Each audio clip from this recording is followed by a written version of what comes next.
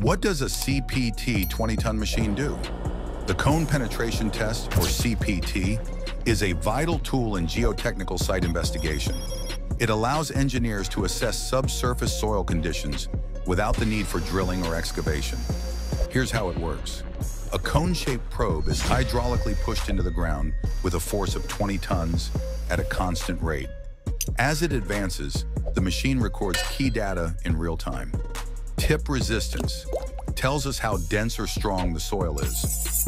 Sleeve friction gives insight into soil texture and layering.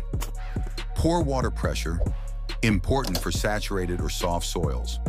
This data helps geotechnical engineers classify soil types, evaluate bearing capacity and settlement, identify weak layers, contamination, or potential liquefaction risks.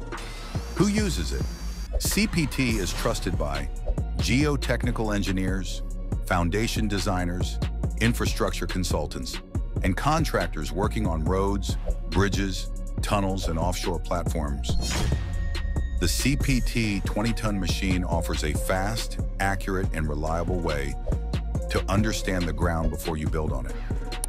Applied Geotech, delivering serious data for solid decisions.